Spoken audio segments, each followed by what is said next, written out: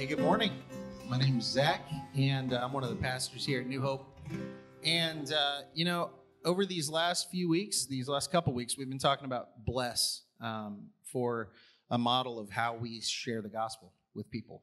And if we, if we think through this, Randy's already talked to us about beginning with prayer. That's the B. Um, which I think they kind of had to make fit, but that's okay. Um, listen to their story. Listen to the person's story. That's L. Uh, and then we said eat with them. Those are the three we'd already gone over thus far. Um, the last two, though, are kind of interesting. Uh, that second to last one, that's that's serve. The first S is serve with them. I think there's something really awesome about when you get to serve with people.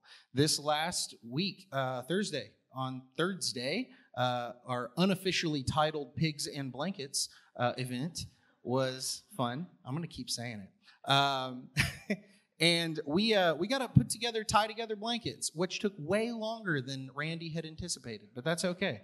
It was really good, and I loved it. Um, and we're going to give those to the Little Red Door Cancer Society and, and help some people out with those blankets. But it was awesome to get to serve alongside brothers and sisters because something happens when you help other people together. That you grow together, you know each other better. It's like we're fighting on the same side, we're fighting for the same cause. And there's something powerful in that. So even when you're talking to somebody that maybe doesn't even know Jesus yet, most people are still all about helping people. And so that's a good way to bridge that gap, get to know each other better, and grow together. And the last S is share the gospel, right? It's kind of weird that it would come last, right? But all those other things are building a relationship. All those other things that come before sharing the gospel here, it's getting to know the person you're talking with. Because generally, you want to know the person you're talking to, you want, you want to be trusted right? You don't want to just be some person shouting from a street corner. I remember going to Ball State back in the day and a guy just standing on the street corner yelling that we were all going to hell. And that doesn't help anybody. But when you get to know people and you're and you're telling them like you're showing them your heart and that they're showing you theirs and you're, you're getting together and then you go, hey, listen, I care about you. And I want you to know something that means a lot to me and it should mean a lot to you. Can I can I talk to you about the gospel? Do you know about Jesus? You, what's your relationship with him like? Build that relationship, and that'll open that door to share the gospel. I'm not saying there aren't times when you should just share the gospel with a stranger. There are totally times for that. But build those relationships, get to know people, tell, tell them about Jesus. Now, if you recall last week, I talked about something called the 139 method. Y'all got your three? This is your check in. I'm checking in.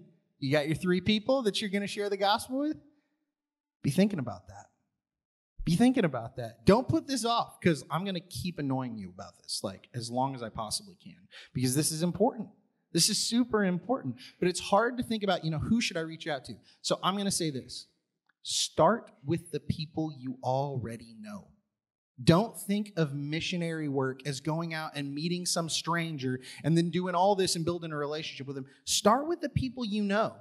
We need to tell everybody. We need to tell strangers too. But but there are people in your lives right now that you've already got relationship with. You already know well. And a lot of times it's harder to talk to them about these matters. But start working on that. Start listening to their story. Start eating with them. Start investing in them.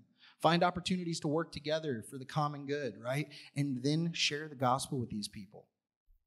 And if you don't know where to start, here's the advice I, I'm using personally from a friend of mine, and then I told my small group about it, and I think we're going to try and start implementing this as a daily rhythm in our lives. But here's what I want you to consider doing I asked you to find two people in this church to hold you accountable to this task, right? Keep you accountable, sharpen you, help grow together. And then I said, think of three people that you could disciple. That's five people. So, what I want you to do is consider thinking of those five people, praying for each of them for five minutes apiece.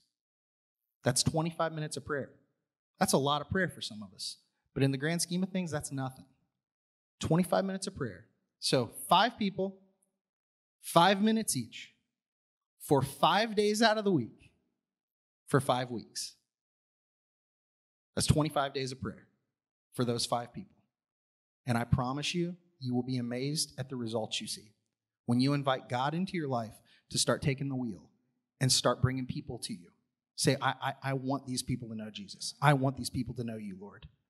He will soften their hearts, but we got to believe it. And we got to go to Him in prayer. We start there. And then let's go get those three people. So let's bless people.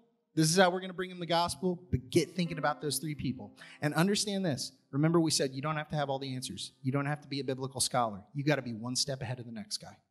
That's it. You got to have one thing you can teach them. And every day, that means you got to learn something new so you can teach them something new the next day. If we could all just learn one thing every day, we would be amazed how far we'd come in a year, two years, three years, four years. Then you would be biblical scholars, every one of us. Let's start there. The little things, let them build up, and let's start sharing the gospel.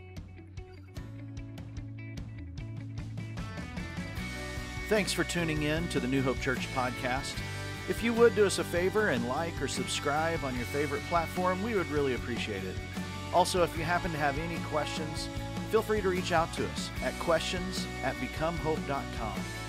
Have a great week and know that we are praying for you as you seek to be Jesus in every corner of your world.